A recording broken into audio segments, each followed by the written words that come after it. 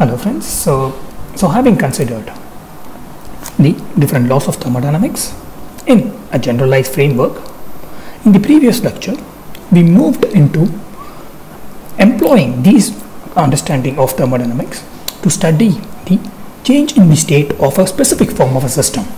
This system is the material that we are interested in. Now, instead of considering a wide range of materials, we rather focused on one particular form of a material. So this characteristic feature of this particular form of material is that it is made up of the chemical composition of this material or the chemical makeup of this material is that it comprises of a single form of a component. So when we say a component that constitute a material, this component could be an ion, it could be an atom or it could also be a molecule. So irrespective of the nature of the component, a given material, the material that we are interested in com is comprises of or it comprises of the single form of the component. Now, when we have such a material, often the change in the state or uh, the change that we observed in such a material or in such a system is the change in its state. So what we mean by the change in the state is the change in its either the conventional state that is solid, liquid and gas. So when we consider the change in the state of such a system, such a material that is made up of a single component, it is often the change in its state. Now, we saw while considering the different thermodynamic functions that can be employed to describe the change in the state of a system, for materials, it is often one thermodynamic function that is largely adopted. And this thermodynamic function that is adopted is the Gibbs free energy. One of the reasons why the Gibbs free energy is adopted to describe the change in the state of a material is because the variables that are associated with the Gibbs free energy are often the ones that can be rather played around with in a laboratory condition. So if you could uh, consider the expression for the Gibbs free energy as a thermodynamic function that is associated with specific thermodynamic variables, the variables include temperature and pressure. In a laboratory setting, it is rather straightforward for us to change the temperature and pressure when compared to the other thermodynamic variables, for instance, entropy or even in some cases volume. So, given that these two variables are rather straightforward for us to manipulate in a laboratory setting while performing our experiments, we often employ the corresponding thermodynamic function to describe the change that occurs when we change these thermodynamic variables. Now, in addition to considering the material or in addition to employing or introducing the thermodynamic concepts to understand the change in the state of the material, in previous lecture we also considered the concept of driving force. So whatever may be the change that occurs externally that brings about a change in the state of a system or a state of a material, internally there can be certain variables that can be considered as or there can be change in certain variables that can be considered as the driving force for this change in the state of the material. So one example, one rather easily understandable example that we saw in our previous lecture was the freezing of a ball of water. So when we place a ball of water in the freezer, there is a temperature difference between its surrounding and the ball of water. So this introduces a heat transfer from the ball of water to the surrounding. So the surrounding acts as a reservoir. So there is not much change in the temperature that uh, the, or must not change in the temperature in the freezer. So despite the removal of heat, the temperature of the freezer remains the same. Now once the heat is removed, there is a consequent decrease in the temperature of in the ball of water and this brings about the change in the state of the water. So when you consider from the perspective of the ball of water, when you consider within the ball of water, when you, when you look, um, just consider the system that is a ball of water, the driving force that brings about the solidification, the driving force that brings about the freezing is the dip in the temperature of the water that is brought about by the heat transfer. So therefore, the driving force can be directly, when within the framework or within the ball of water, the driving force can be attributed to this temperature difference, this temperature in the ball of water. In the same way, when we consider a change in the state of the system within in a laboratory, and and that change is brought about by either change in the temperature or change in the pressure within the material the driving force can be attributed to the corresponding thermodynamic function that is the Gibbs free energy. So even though externally you are heating up the system under a different pressure when you consider within the material when you want to describe the um, driving force within the material then it can so it can be done using this particular or associated thermodynamic function which is the Gibbs free energy.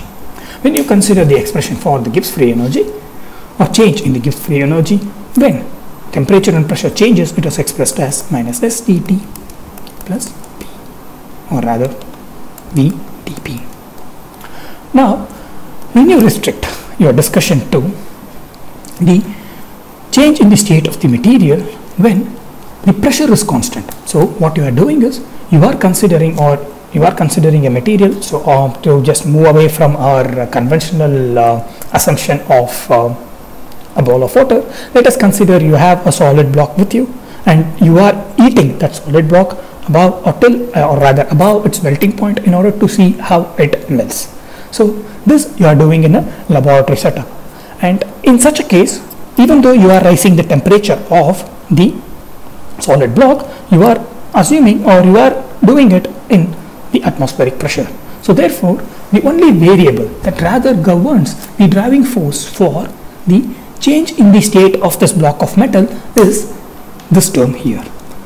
Since you are performing this experiment this melting at uh, uh, in a laboratory and a normal condition we assume this occurs at the constant atmospheric pressure. So therefore this term here vanishes off and ultimately the change in the state of the system can be discussed based on the change in the Gibbs free energy particularly with respect to the temperature or exclusively with respect to the temperature.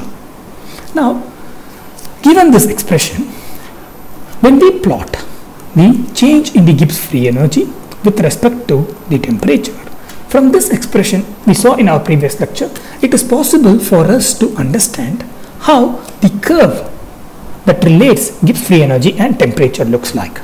So first of all, we, we it, um, it, this expression indicates that there is a negative sign on the or in this expression we have a negative sign on the right hand side term or the right hand side of the expression.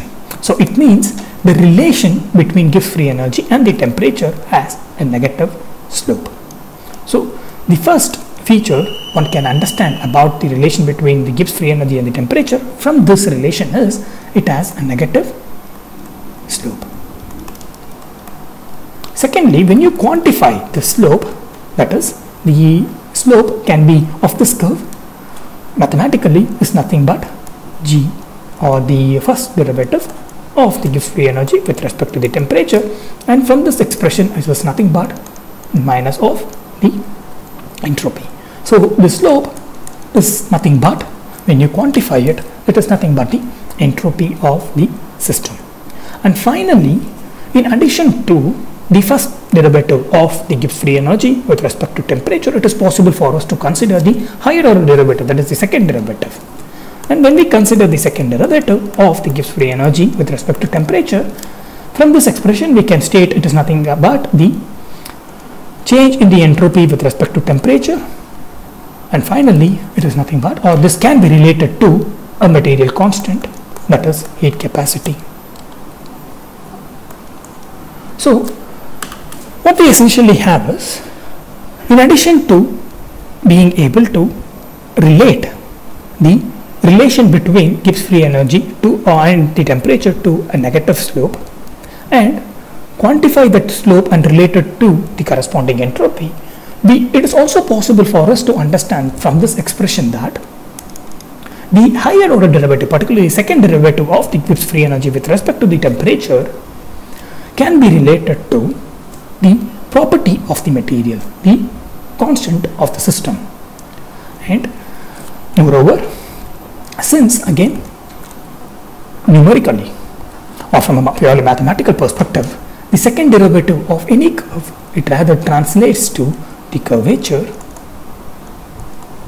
it is possible for us to rather expect how the relation between Gibbs free energy and the temperature would be, how the curve that relates Gibbs free energy and the temperature would be from our understanding of or based on the material constant. So the material constant entropy change it governs the material constant here is the heat capacity and the uh, entropy they both govern the nature of the relation between the Gibbs free energy and temperature. So when you when we when we say when I say the nature of the relation between Gibbs free energy and temperature, I mean the curve. While the entropy dictates the slope of the curve, the curvature of this particular curve is rather dictated by the material constant. Now, considering that for when a material is in two different states, particularly when a single component material when a unary material is in two different states solid and a liquid state and considering for each of these states the material constant particularly the heat capacity varies. When we consider two different states of the system the Gibbs free energy and the temperature change in two, two different state of a given system it becomes evident that from these relations that we need to have two different curves. Okay because of this expression here, it is possible for us to arrive at or it is possible for us to rather have an idea of how the curve that relates Gibbs free energy with temperature looks like. Now, this curve, it depends on entropy and curvature. Depending on the state of a system, even though we are considering a single system A, depending on the state of the system, the entropy and also the curvature at different temperatures. So curvature, what we mean by that is the material constant, that is the heat capacity. So the entropy and the heat capacity for a given system at different state, it varies. So therefore, when we are considering the relation between the Gibbs free energy and temperature for a system in two different states, then we need to consider two different curves. So when we do that, so the first idea is we need to consider two different curves. So let us consider the solid curve in blue and the liquid curve in red. Now, so this is the liquid curve and the solid curve is in blue. Now, there is a specific reason why when you consider the combination of solid and liquid curve, it needs to adopt this particular form here. So this can be understood when you consider the canonical expression for the Gibbs free energy which is nothing but enthalpy minus temperature and entropy. So this is one way of describing the Gibbs free energy. When you describe it in this way, the role of entropy is associated with the role of entropy is associated with the temperature. So when we say that you have combination of two thermodynamic variables or you have this combination of the different thermodynamic variables and function and you are focusing on the entropy here because entropy is the one that governs the slope of this curve that rather quantifies the slope of the curve. Now the role of the entropy is associated with the temperature now, as the temperature increases, the role of the entropy also proportionately increases. So that is what we understand from this expression here. So the, the, the, curve that relates Gibbs free energy and temperature, the curve of this or the slope of this curve is dependent on the entropy. However, the dominance or the influence of the entropy progressively increases with temperature. Now, when you consider solid and liquid, the entropy, if you discuss entropy as the degree of randomness, in case of solids, since we are largely focusing on the crystalline solid, in crystalline solids since the atoms have specific position, the degree of randomness that can be achieved in solid is often less than the degree of randomness that can be achieved in liquid, wherein there is no such specific atomic positions. You have solid, wherein you have specific atomic position, you have liquids, not, not so well declared atomic positions. So when you want to introduce rather randomness, it is more easily or the more randomness can be introduced in liquid when compared to that of solid. So therefore, the entropy in liquid is often higher when compared to that of solid. And that means the slope, the negative slope of the liquid curve will be higher when compared to the solid beyond a specific temperature. So even though the entropy of liquid is higher than that of solid, but since the role of the entropy, it becomes dominant or the dominance of the entropy depends on the temperature, only after a specific temperature you observe that the slope of the liquid curve is greater than it becomes greater than that of the slope of the solid curve. So this change in the slope of the uh, liquid curve when compared to that of the solid curve ultimately allows the liquid curve to assume a position that is beneath the solid curve. So because the entropy of the liquid at higher temperature or the entropy of the liquid is higher than that of the solid and this factor becomes dominant at higher temperature you have the slope of the liquid higher than that of the solid, solid beyond a specific temperature. The temperature beyond which the liquid has or it exhibits higher entropy when compared to that of the solid or um, the temperature at beyond which the slope of the liquid curve is greater than that of the solid curve is the melting temperature.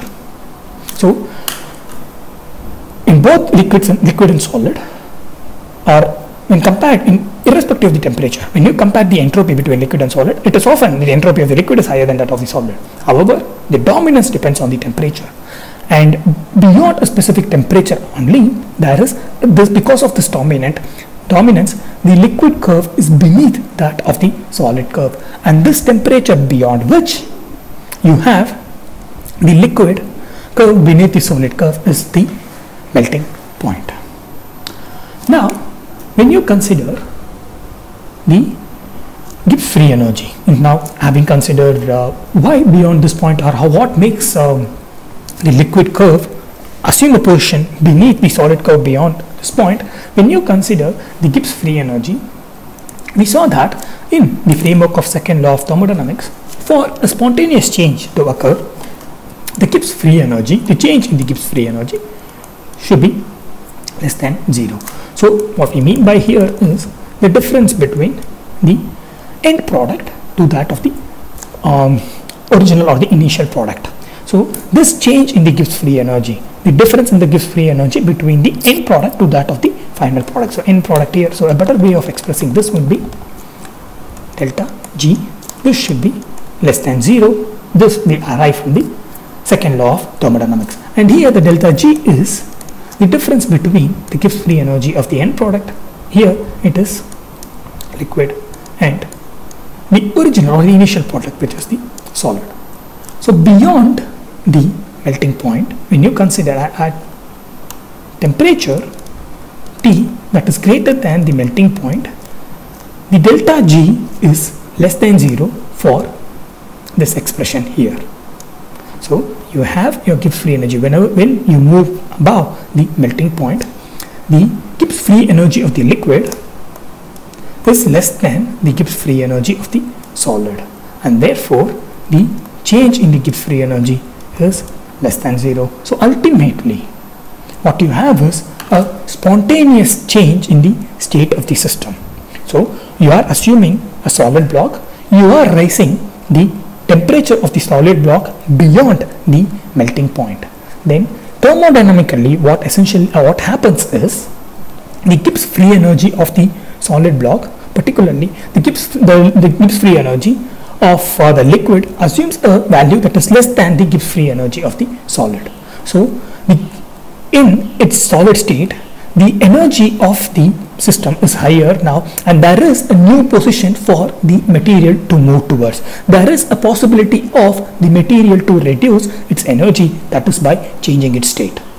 So thermodynamically when you want to discuss or describe the process of melting what we have is you have a material in a stable state you increase the temperature of the material beyond its melting point then you are establishing a new state for the system a new stable state for the system and this new stable state can be achieved by changing its state by melting and therefore the material the solid material melts and assumes the new stable state because the energy of this new stable state in its liquid form is much less than the energy of the solid material. So thermodynamically, you are introducing a new low energy state, a new stable state and the state of the system corresponding to this particular equilibrium condition is liquid and therefore the system changes its states from solid to liquid. So you have a system in solid condition, you raise the temperature of the system beyond a specific point and after a specific point it is possible for the system to reduce its energy and assume a low energy state and this is possible by system changing from solid to liquid. And therefore the system solid changes from solid to liquid spontaneously because the spontaneous condition is satisfied. So the system spontaneously changes from solid to liquid thereby achieving a change in the state. Now when you consider so instead of moving in this direction that is towards or increasing the temperature if we reduce the temperature if for instance we have uh, a metal that is liquid at room temperature and we are progressively reducing its temperature. When we do that beyond certain temperature that is beyond certain temperature when the Gibbs free energy of the solid is rather less than Gibbs free energy of the liquid so in a stable state the system is in the liquid condition. And now you are gradually decreasing the temperature and beyond the temperature there is a possibility for the system to reduce its energy. And in order to do that the system must change from liquid to solid. And therefore the system spontaneously changes from liquid to solid because of this difference in or this possibility of reducing its energy. And this is the driving force for or this is what we refer to as the solidification. And be, below the melting point the change in the Gibbs free energy that drives the change in the state of the system from liquid to solid can be expressed as solid which is the end state minus the liquid which is the initial state. And this being less than 0 we have fulfilled the condition for the spontaneous change and ultimately what we have is a transition from the solid or rather liquid to that of solid. So we have a specific temperature above which there is one state that has a low energy that has low Gibbs free energy or that, that assumes low Gibbs free energy and there is and below that temperature we have another state that assumes a low energy or low Gibbs free energy. So therefore depending on which of the state assumes the low free energy, the system moves towards that state. So beyond the melting point, you have liquid that is of low Gibbs free energy and uh, uh, rather uh, below the melting point, you have solid that is of the low free energy. So therefore, given this difference in the free energies, we have the material assuming a liquid state beyond the melting point and below the melting point it assumes a solid state. Now, when you consider or the this transition at specific temperature. For instance you begin you, you consider your system at T1 and you immediately drop it to T2 and you hold it for or you are you are not progressively decreasing from T1 to T2 but directly you are dropping it to T2 and you are observing the change in the state of the material. Then what you observe is you observe a change in the state of the system from liquid to solid and from the material perspective, the driving force here is the difference in the Gibbs free energy which can be quantified by dropping a straight line and considering the difference in the Gibbs free energy. So this is the Gibbs free energy of the liquid and this is the Gibbs free energy of the solid at the specific temperature and at the specific temperature at the specific temperature T2 it is the difference between the Gibbs free energy of the solid at T2 minus the Gibbs free energy of the liquid at that specific temperature. So T2 yeah. So in this case what we have is the solidification is governed by the difference in the Gibbs free energy. The driving force can be related to, from the material perspective, the driving force can be related to the difference in the Gibbs free energy. So depending on at what temperature are we considering the solidification, it now becomes possible for us to rather estimate the driving force that governs the solidification. So depending on the temperature, the driving force correspondingly varies. Now, when you consider the difference in the Gibbs free energy at this particular point here, where the two curves meet, here the difference in the Gibbs free energy is zero. So, at the melting point, the difference in the Gibbs free energy is zero. So we have considered all the three possibilities. One is the temperature greater than the melting point, temperature less than the melting point, and now the temperature at the melting. And in this case, the difference in the Gibbs free energy is zero. That means there is not sufficient driving force for the system to change its states. So therefore, both solid and liquid, it is possible at this given point for the both liquid and solid to be in equilibrium. So that is what the melting point indicates. So melting point indicates a state or a condition wherein both liquid and solid. So what we are attempting to do is we are attempting to describe so far we have been we are attempting to describe the change in the state of the systems thermodynamically. So we are not talking about uh, the melting as the atoms which were originally placed in a specific position, losing their position and getting moved away from a specific position. We are not talking atomistically. Or we are not considering that the crystal structure is lost and we are not considering and ultimately you have the liquids forming. We are not talking about in, the, in a microscopic condition. We cannot, we are not talk, stating that we have uh, specific grains or specific uh, form of uh, solid material that is lost after the melting point. So we are not talking in the microscopic scale. What we have been doing is we have been using this curve to describe thermodynamically the melting process. Thermodynamically, we have been using to, this curve to describe the solidification process. In the same way, it is possible for us to describe the melting point from the thermodynamic perspective as well. So from a thermodynamic perspective, the melting point is a temperature at which both the liquid and the solid can be or can stay in a stable condition can be with equilibrium with one another because the difference between the Gibbs free energy of the solid and the Gibbs free energy of the liquid are both equivalent. So in this at the melting point the Gibbs free energy of the solids and the Gibbs free energy of the liquids are equivalent and therefore there is no driving force to govern this transition. So ultimately both these state they remain at equilibrium at this temperature. So we have been able to thermodynamically discuss what solidification is and what melting is and what a melting temperature is.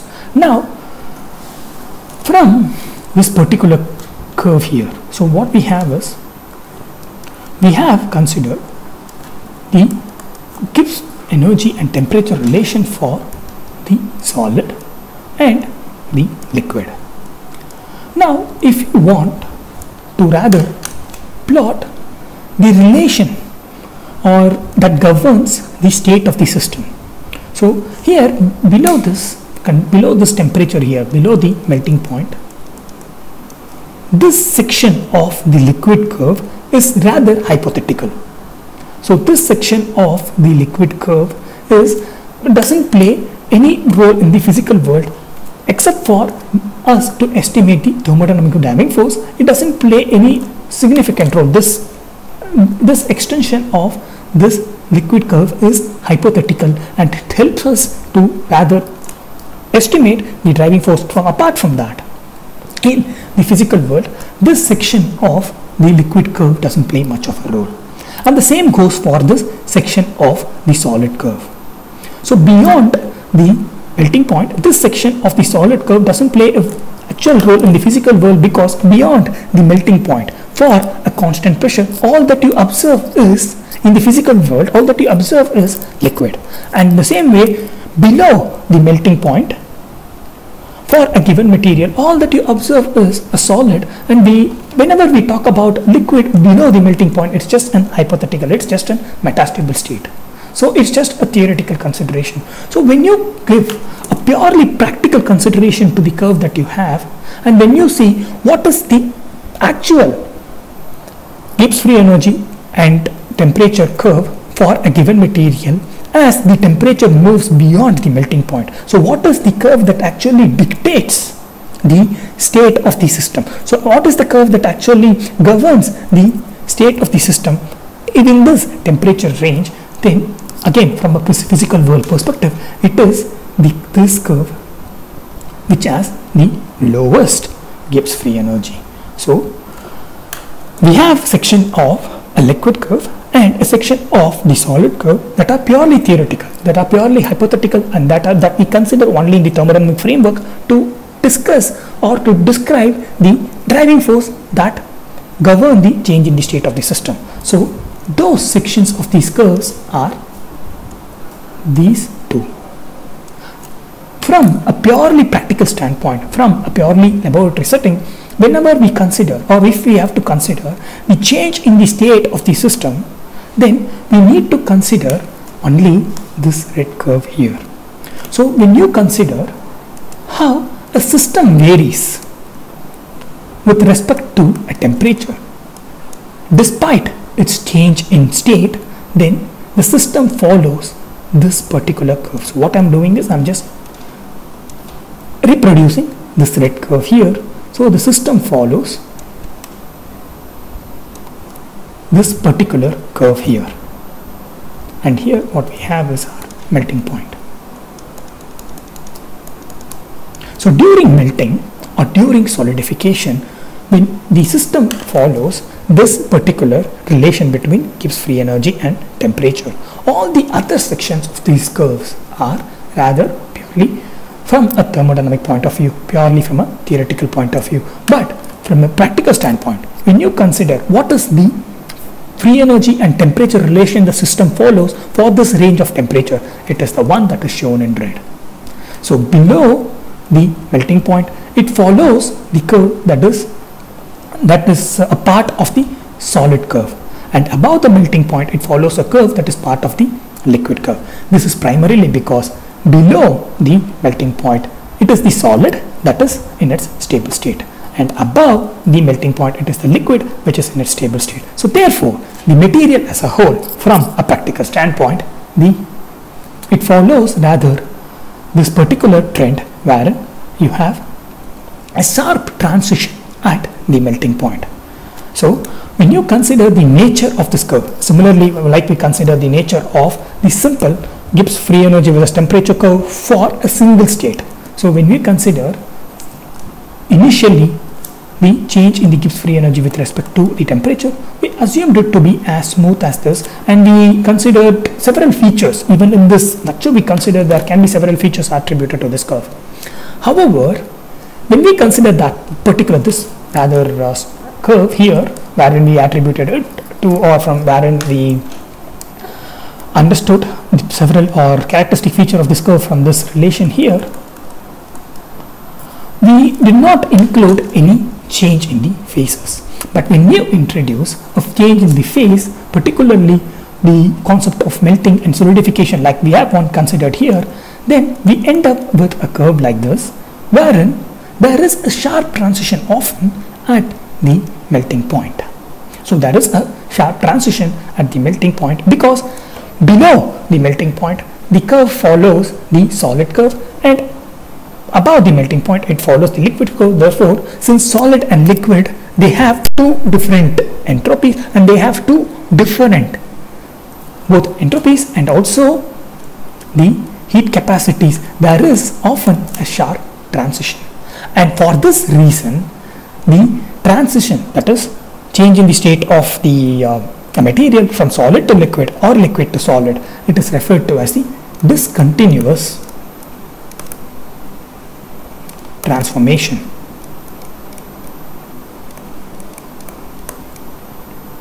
And again, the reason we refer to this as a discontinuous transformation because unlike this curve here, which we consider for a single system that does not experience a single material that does uh, a single component material a unary material that, that does not experience a change in state it is smooth and it is continuous but when there is a change in state so when there is a transformation occurring what we observe is a sharp a transition from in the curve above and below the melting point. And this we refer to as the discontinuous. And because of this sharp transition because of the introduction of a discontinuity here a region wherein it is not smooth it is not rather differentiable from a mathematical standpoint from a numerical standpoint. This point here is not easily differentiable. So therefore we refer to the transformation the overall change in the state. Be it melting and solidification we refer to it as the discontinuous transformation. Now when you plot the slope of this particular curve here which is nothing but the entropy and the temperature when you plot the slope of this curve what you observe is you have a specific slope that is attributed to that of the entropy of the solid and there is a certain increase in that slope that is attributed to the liquid. So till here so this is the melting point.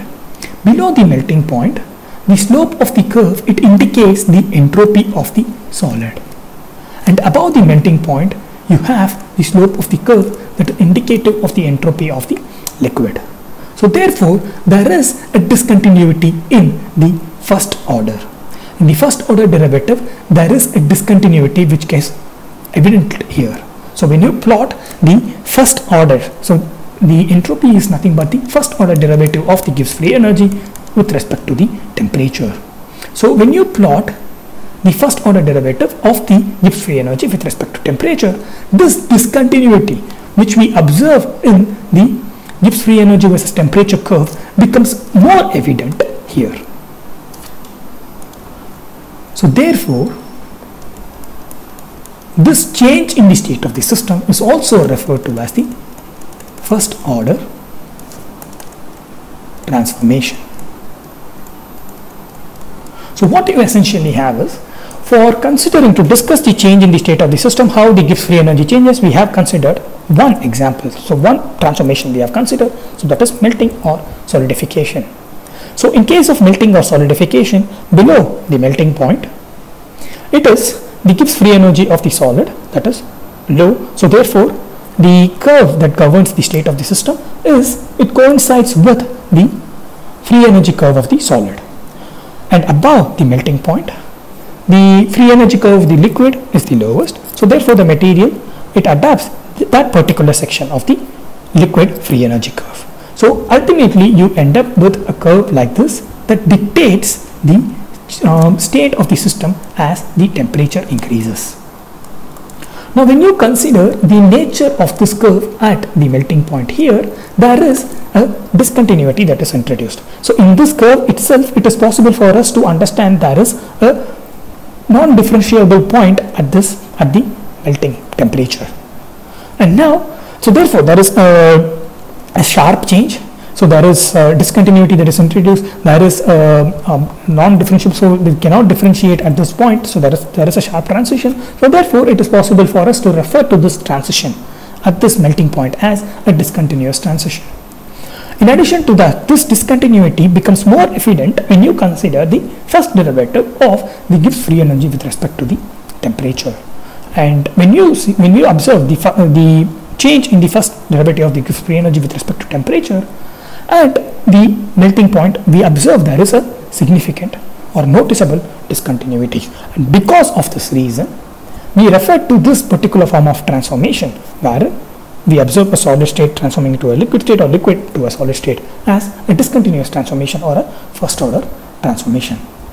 Just one point to note here, when you consider um, the this particular discussion or when you look into this particular discussion in uh, the other often referred uh, book uh, by Gaskell there is a bit of inaccuracy here. So please be uh, wary of it. So while discussing the first order transformation or the discontinuous transformation particularly while discussing uh, this particular uh, this uh, representation, this change in the Gibbs free energy, there has been or there is an inaccuracy, if I'm not wrong, in Gaskell's book. So please be aware of it. Now, moving ahead, if the question is so, in addition to the discontinuous transformation, there should be a possibility given uh, its uh, terminology that we use but there should be a possibility for us to have a transformation that is rather continuous. So the concept of discontinuity or uh, our understanding of the discontinuous transformation it initially stems from the change in the Gibbs free energy. The system adapts when it changes its states. Because there is a sharp change in the slope of this curve here which the system adapts as you increase the temperature we began to refer to it as the discontinuous transformation. Now supposing if such we observe for instance a change that is rather continuous uh, a slope that is rather continuous despite the change in the state of the system. For instance let us uh, begin with considering a final rather the change in the Gibbs free energy of the system with respect to temperature irrespective of a state. So despite the uh, change in the state you the the change in the Gibbs free energy with respect to temperature that you observe is something like this. So you observe the change in the temp uh, Gibbs free energy with respect to temperature it is something like this. Now when you consider the Gibbs free energy of the solid if it is of this form so this is the Gibbs free energy of the solid. And if this is the rather uh, this is the Gibbs free energy of the liquid. And here you have your transition. So let us again this is purely an imaginary uh, condition. So in, in uh, at t prime you have your transition. And when you consider the curve that the system adapts despite the change in the state that you observe the curve is rather continuous when you compare it with this curve here. So there are also transformation possible wherein the curve is smooth despite the transition and such transformation as opposed to the one here we refer to it as the continuous transformation and when you plot the first derivative of the Gibbs free energy with respect to temperature. And it is rather uh, one can understand how it would look like from the red curve here. It would rather be continuous. And therefore such transformations are called as continuous transformation or second order transformation. Again as opposed to solidification or melting wherein during the transition there is a sharp change in the slope of the Gibbs free energy curve with respect to temperature it is also possible for us to have a transformation wherein the slope is change in the slope is not abrupt but gradual. So when you have a change in the slope that is not abrupt but gradual, what you essentially observe or essentially what it means is that there is a continuous change in the Gibbs free energy that governs the state of the system. So unlike here wherein, wherein there is a discontinuous change in the Gibbs free energy that governs the state of the system, here there is a continuous change. So therefore, the transformation rather occurs rather smoothly and therefore such transformation are referred to as the continuous transformation. Now on the in addition to that, when you plot a similar curve that indicates the change in the slope of the curve with respect to temperature, since all these points here are differentiable, you will not observe any such discontinuities and therefore ultimately you end up having a constant curve that represents the first derivative of the Gibbs free energy with respect to temperature and the temperature.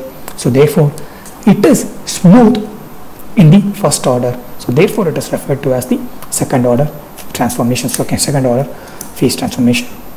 So what we have seen so far is it is possible for us to consider the Gibbs free energy of the system not of the state but of the system as a whole that dictates its state. So that is what gives us this red curve here and based on that we will be able to state if a transformation is associated or it's included in this curve if the transformation is included in this curve it is possible for us to state if the transformation is a continuous one or a discontinuous one.